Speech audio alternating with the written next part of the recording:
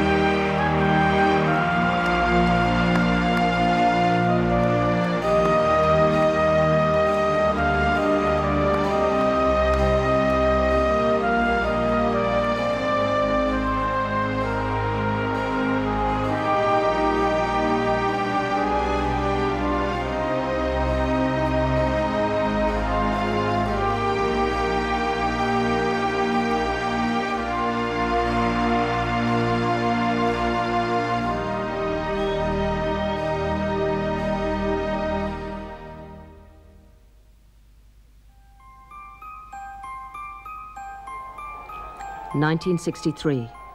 Racial tension threatens to explode across the southern states of America. The Profumo scandal breaks in England. The first woman in space is a Russian cosmonaut. And just as he promised, Cassius Clay knocks out Henry Cooper in the fifth. These stories lead in Irish newspapers, pushing domestic news off the front page. It seems that when the reading public looks for excitement, it looks abroad particularly to England and America. And yet, at home in Ireland, a quiet revolution is underway. Gone is De Valera's dream of a simple island people who speak an ancient Celtic tongue. Today's Irish are restless, anxious to take their place among the modern European nations. The monolithic structures of church and state, which have preserved the status quo for decades, are now under increasing pressure to change. Sean Lemass, a highly progressive statesman who embodies the new spirit of Ireland, has been Taoiseach since 1959. Under Lemass, Ireland's first programme for economic expansion, launched in 1958, has been pushed steadily forward. In the years up to 1963, more than 100 industrial plants have sprung up around the country, creating thousands of new jobs. Though the industrial sector is growing, a large part of the population is still engaged in subsistence farming. The smallest viable farm is considered to be 45 acres, yet there are over 200,000 farms of 30 acres and less. And living conditions are poor in rural areas. 90% of homes are without running water, 50% are without electricity. Predictably, there is a huge exodus from the countryside, many taking advantage of the new opportunities in urban industry. The Catholic Church, too, is feeling the winds of change. There has been a significant decline in the number of Irish vocations. Tension is growing between the clergy and the more progressive politicians. New influences are abroad, influences which are largely beyond the control of the Church. Women are victims of a multifaceted sexism so blatant and so pervasive that it stands as an invisible backdrop to Irish society. Under the terms of the marriage bar, a married woman cannot be employed by the civil service, the local authority, or most large companies. Furthermore, a single woman employed by one of these entities must quit her job if she does marry. Clearly, it is expected that women will seek fulfillment inside marriage, and for the most part, this expectation is not questioned. This, then, is Ireland, a small country somewhat outside the mainstream of events, but determined nonetheless to make a place for itself in the modern world. One consequence of this drive for fuller integration in the global community is the desperate search by the Irish for international validation of any kind. John Fitzgerald Kennedy, a man who has risen to the highest of stations and who openly acknowledges his Irish Catholic ancestry, is therefore a potent figure. So when the 35th President of the United States arrived in Ireland on the 26th of June, 1963, the welcome he received was, at the same time, astonishing and predictable.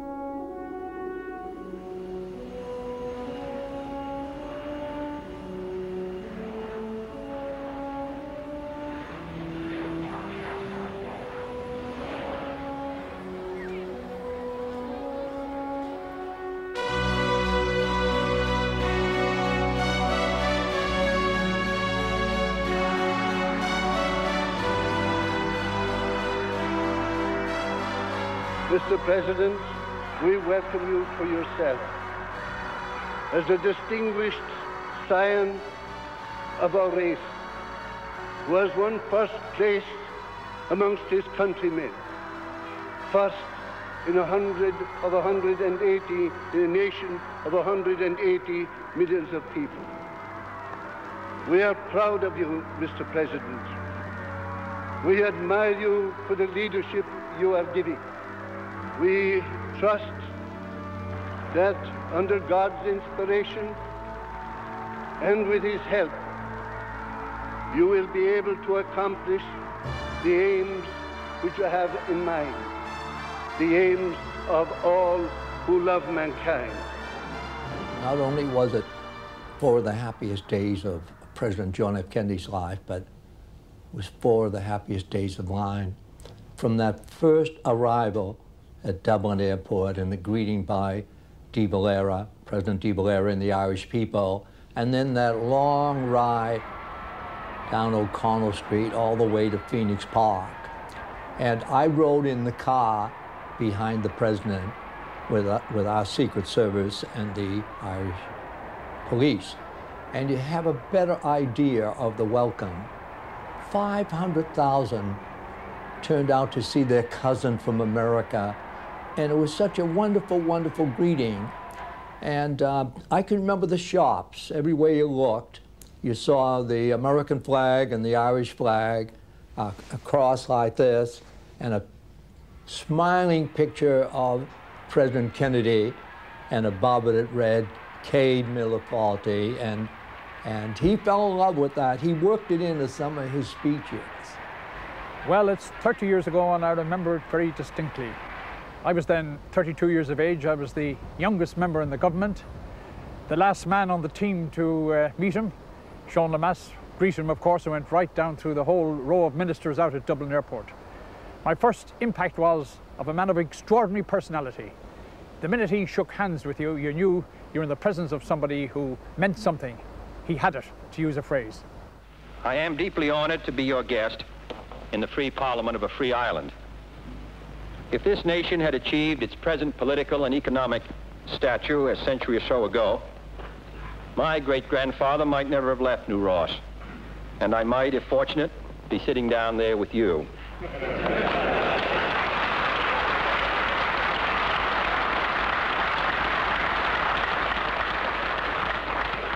Of course, if your own president had never left Brooklyn, he might be standing up here instead of me the reaction all over the world to Kennedy, and more especially the, the, the culmination of his own instinctive power and strength when he overcame the terrifying, the really terrifying Cuban crisis with the Russians at the height of their power as well. All these factors um, made Kennedy um, a tremendous figure of, of almost superhuman and international world strength when he arrived. You're talking in terms of Alexander the Great, uh, Julius Caesar. Now, these may be exaggerations, but in 100 or 200 years' time, uh, the significance will be realised. It's hard to understand now the semi-hysteria that was about at the time about him coming. He was the first American president to visit this country, I think, and uh, he was also Irish and Catholic, and I suppose every single man, woman, and child had been rooting for him to, to win the to win the election. Uh, I myself I don't like that sort of thing, so I decided to get as far away from Dublin on, on, on the day of the visit as I could. So I, I took the boat to the Aran Islands, uh, which is as far away as I could afford to go. And um, while we were, it was, a, I remember it was a fine day because we were all up on deck on the boat, and some idiot had the had a radio with him, and we got the full belt of the of the speech. Everything I tried to be to avoid, I got anyway. But um, there was a lot of. Um, it was, I suppose, it was a big day for Ireland when you when you when you consider it in retrospect. Um, it was a great honour uh, there were a lot of little countries that he didn't go to. Um, so, you know, not to be too cranky about it, I suppose a lot of the, the hoo ha was justified, but I think we, we go overboard on that sort of thing. We certainly went overboard when he came to Ireland.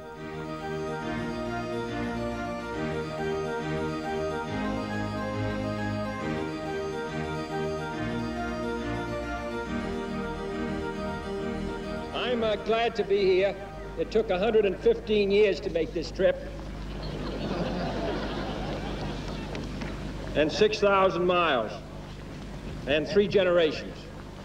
But I'm uh, proud to be here, and I appreciate the warm welcome you've given to all of us. When uh, my great-grandfather left here to become a uh, cooper in East Boston, he carried uh, nothing with him except two things. A strong religious faith and a strong uh, desire for liberty. We went to New Ross, uh, which is in County Wexford, and uh, that is the place where uh, actually uh, Kennedy's great-grandfather had sailed to the United States about 100 years earlier, and that was a very important place that John Kennedy was going to. And uh, we had a meeting with a man, I think his name was Minahan, who was the, the leader of the New Ross region, and uh, at one point, uh, he said, you know, we're not going to change this city. This is an Irish city. We're, gonna, we're not going to change it. Well, I, I wasn't going to argue with him about that. But I noticed that about 25 yards away from where John Kennedy was going to speak at New Ross, there was a huge pile of dung. And so I said, well, do you mind moving the dung away? No, he says, that's Irish. Irish dung. It's going to stay there. And it did stay there. The only thing I remember about being in Ross was that I was clambering up a scaffolding, again in the midst of throngs and throngs of people, uh, and the place going wild. And he talked about uh, emigration, and he talked about his family having left those shores to go to America. And he identified very much indeed with the people down in that direction. And then something went wrong with the microphones or the sound or something. And I remember Andy Minahan uh, doing his celebrated, oh, we're all in queer trouble now, or words to that effect. I think it was in New Ross that I saw, I noticed something that was a feature of the Kennedy visit. And that's the, the local Irish politicians all look so much older. Uh, they all belong to a quite different generation. They're older clothes and so on. And they were watching this young man with extraordinary intensity because they knew he had magic. They wanted to know what was the key. How could they discover how to turn people on?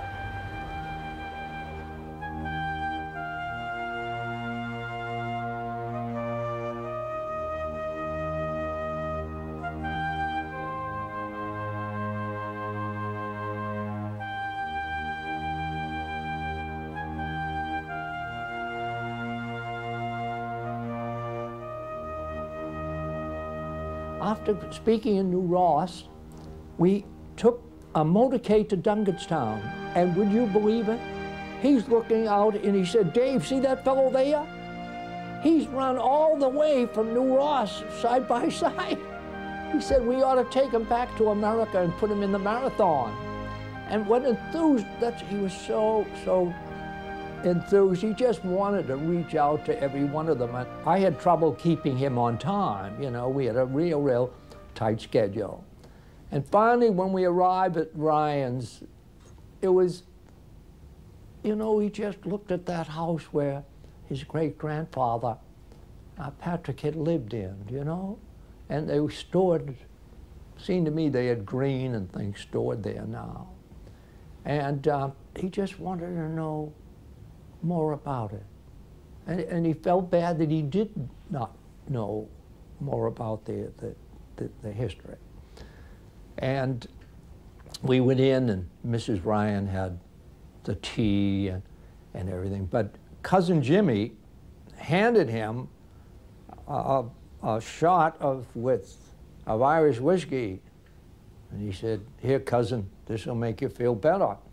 Well, the president slipped it to me. And I had the job of downing it that early in the morning, you know? And uh, the president said, I had to give him back an empty glass. He said, I couldn't lose face among my cousins. because uh, the president really wasn't a, a drinking man or, or he wasn't up to Irish whiskey that early in the morning. So I, I think at the rest of the day I felt a little groggy. There must have been four ounces in it, four ounces of Jameson. We felt that, that uh, the president was our cousin coming home to visit us because he was a, his dad and my father were third cousins. And that had been proved by all, beyond all doubt. So he had came, come here in the 1940s and on his way up the road he met an old man inquiring the way. When he came back here 20 years later as president, the first man he asked for was that very same man. Probably in the meantime he had shook hands with probably millions of people and met, spoke to millions of people.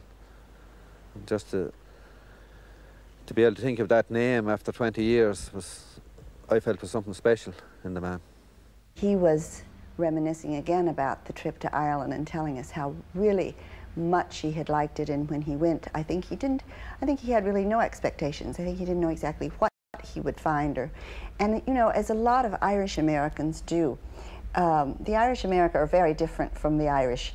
And if you grow up in a, a strongly Irish American world which, which Boston is certainly in other cities you do have a sense that that's Irish. And then you go to Ireland and so many people have this same misconception, and then they realize that it's not Ireland at all, and, and it's very different in many, many ways. But anyway, and he, he realized that difference and felt it, and did have a lovely time on that trip. And he was standing there um, laughing, and he said, You know, everybody always is asking me what I'll do when I finish my eight years in the White House because I'll be too young a man to. Um, to retire. And he said, and now I know. He said, just before I leave, I'm going to sign a piece of paper making myself, appointing myself the American ambassador to Ireland.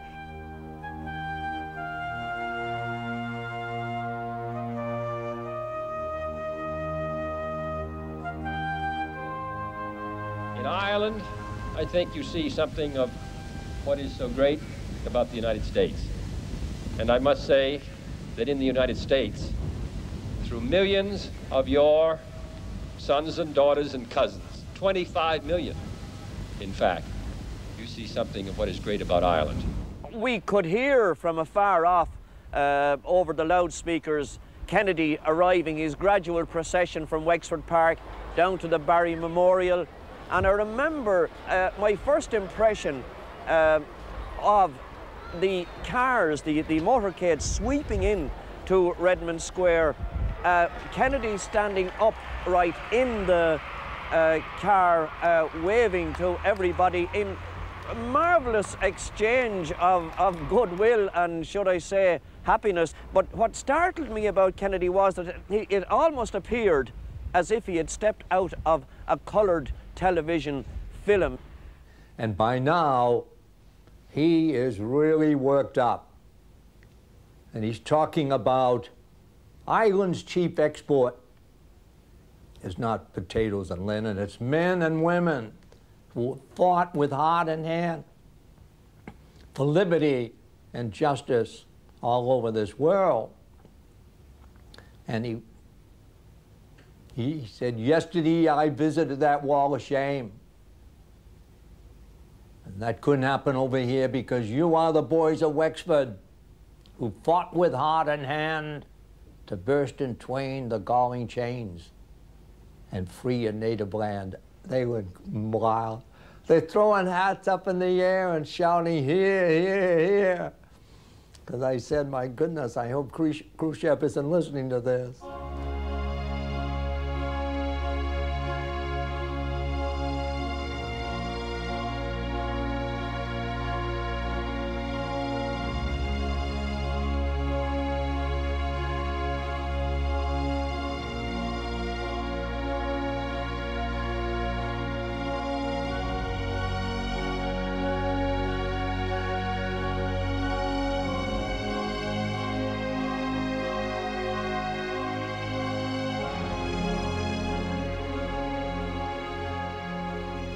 I am glad, therefore, that Ireland is moving in the mainstream of current world events. For I sincerely believe that your future is as promising as your past is proud. and that your destiny lies not as a peaceful island in a sea of troubles, but as a maker and a shaper of world peace. I think what people may have forgotten about that Kennedy visit was it was almost like a royal progression with a court and courtiers uh, and uh, a lot of fanfare, helicopters flying all over the place. There was a huge air of excitement about it all. And, and that extended not just to the people of Ireland, but to the press of Ireland as well.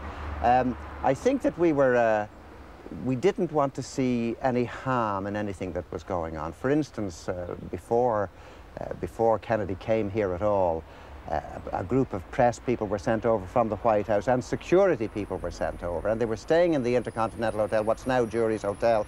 And people were so hyped up about the whole thing, they were actually going up to have a look at the Secret Service men in, in the Intercontinental Hotel. And some fella in a bar, in one of the bars in Jury's, uh, a bit few, a few jars on him, said to one of these Secret Service men, you know, you fellas are just the, the effing new Romans. The Secret Service man pulled his gun on this fella. Now, it's an indication of how much goodwill there was towards it. That, that story never appeared in a single newspaper, not, not one. An incident in Iveagh House on Stephen's Green. He was at a dinner given by the Minister for External Affairs about half past 12 at night. He came out. There were thousands of people at that time around Stephen's Green. They were actually in the green, up on the trees, lampposts, railings, you name it, on one another's shoulders. He came out, he stood on the steps, and everyone started clapping.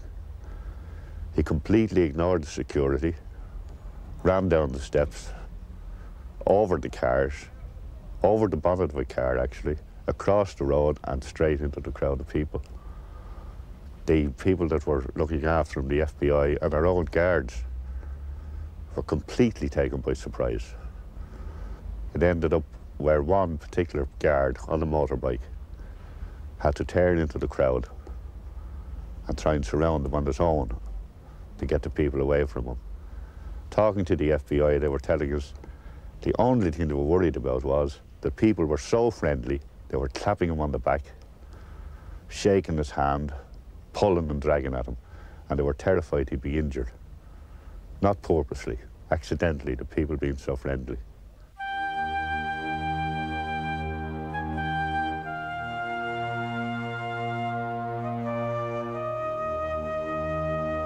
So Ireland is still old Ireland, but it's found a new mission in the 1960s, and that is to lead the free world, to join with other countries of the free world, to do in the 60s what Ireland did in the early part of this century, and indeed has done for the last 800 years, and that is associate intimately with independence and freedom.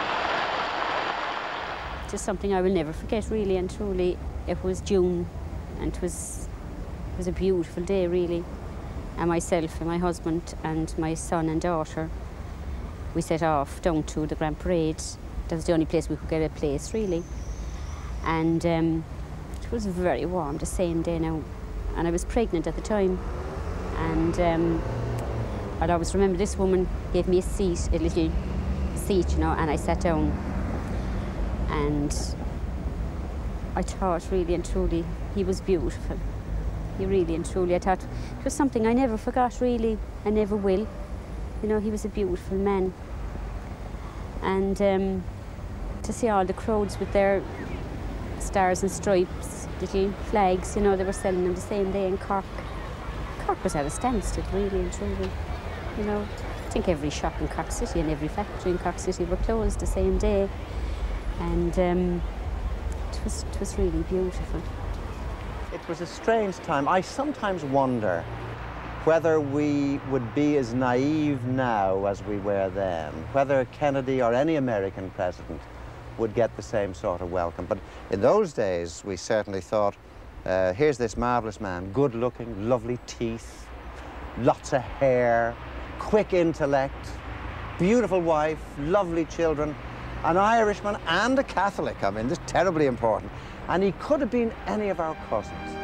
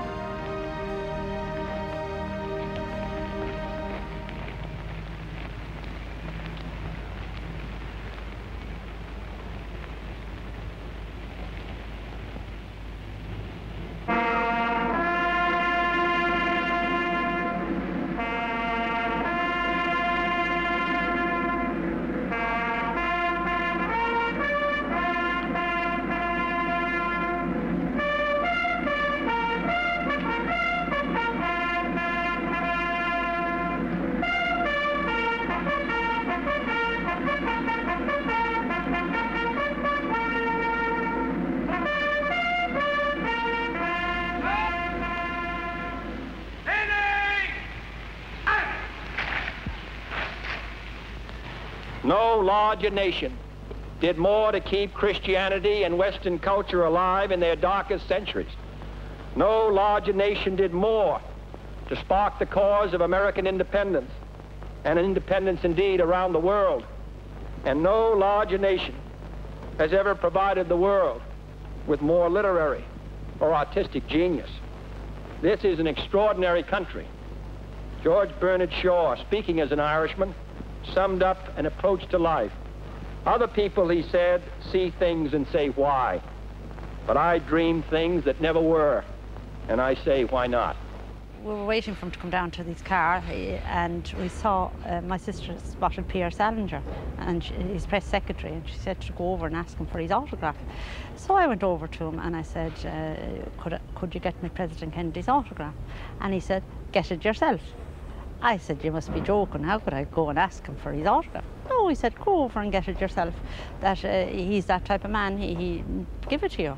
He said, I have a paper and pencil ready, uh, or a pen ready, and uh, don't delay him.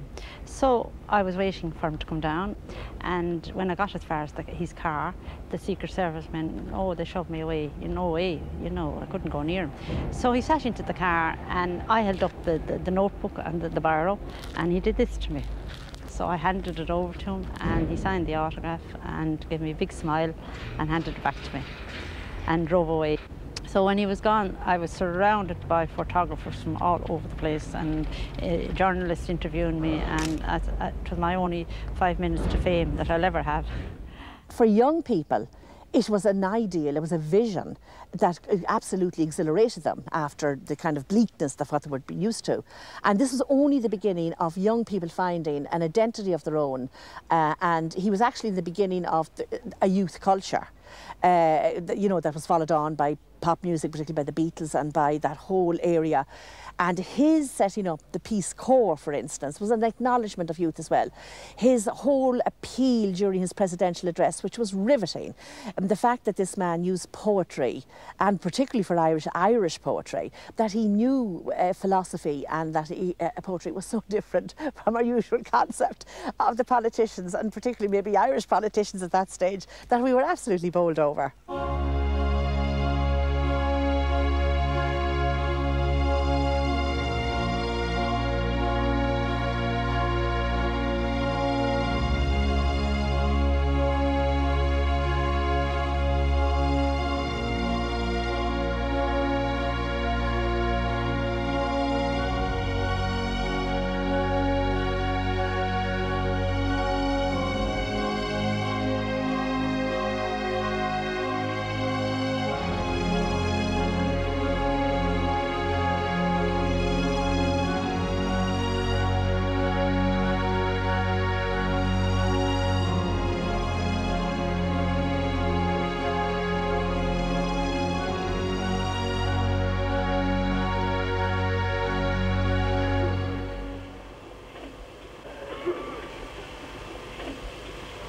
Uh, the day was clear enough, and if you went down to the bay and you looked uh, west, and your sight was good enough, you you would, you would see Boston, Massachusetts.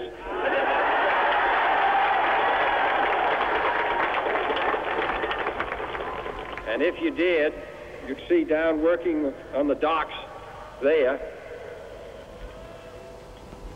Dohertys and Flahertys and Ryans and cousins of yours who have uh, gone to Boston and made good.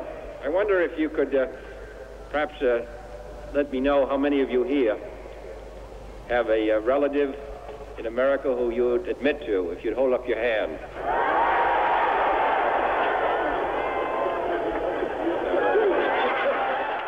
He fell in love with Galway. Every day there was something that added more joy in Galway, there's such a crowd that when the helicopters taken off, some of them actually went into the bay, the, you know, backing up, looking up in the wind of it, and he's going, look at down there. And they turned out all the boats, and, and uh, Galway Bay never looked prettier.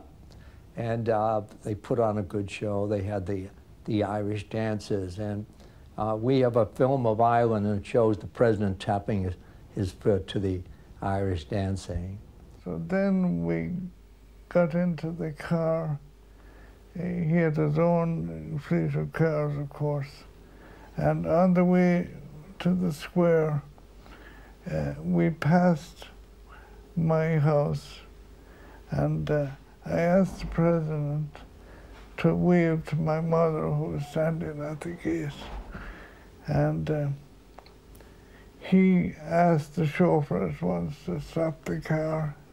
He got out, he shook hands with uh, my mother, and of course all the neighbors had gathered, and he shook hands with everyone. And actually, my nephew had foreseen that this might happen, and he produced a book, an old book on the presidents of the U.S and John F. Kennedy signed the book.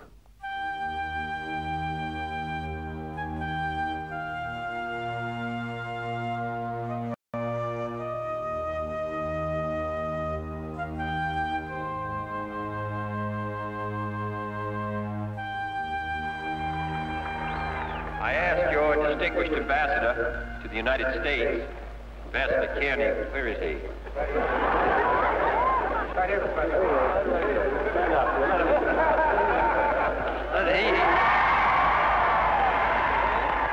He has sort of an elfish look about him, but he's very, very good. I said, what is this county noted for? And he said, uh, it's noted for its uh, beautiful women and its fast horses. And uh, I said, well, you say that about every county. But he, he said, no, this is true about this county. I uh, want to express my pleasure at seeing the Fitzgeralds. I wonder if they could stand up. They?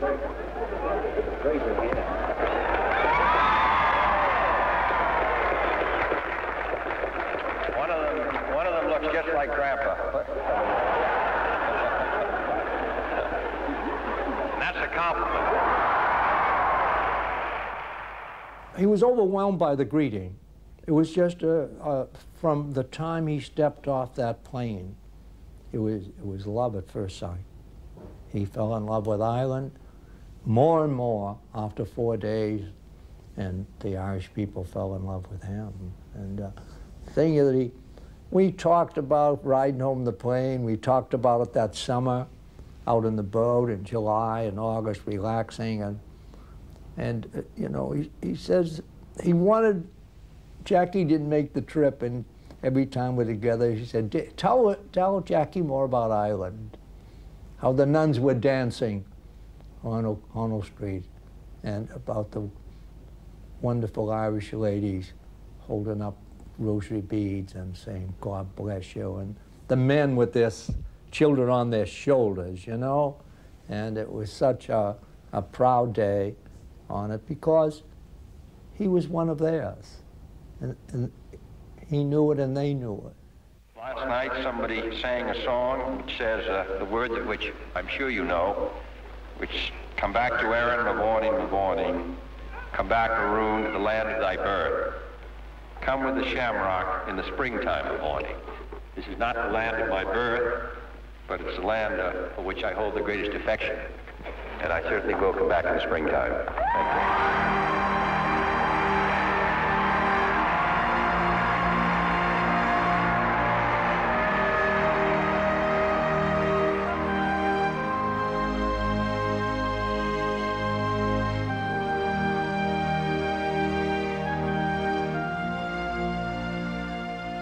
He was one of their own.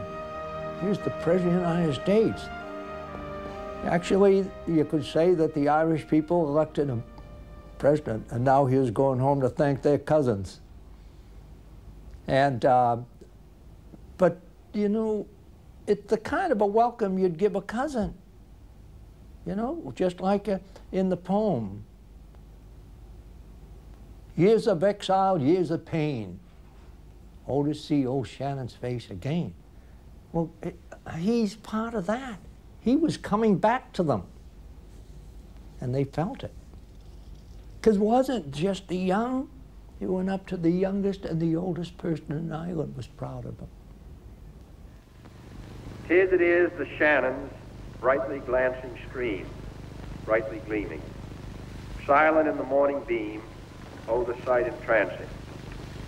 Thus return from travels long, years of exile, years of pain, to see old Shannon's face again, oh, the waters glancing. Well, I'm uh, going to come back and see old Shannon's face again.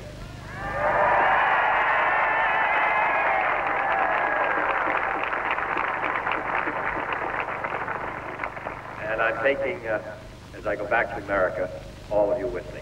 Thank you.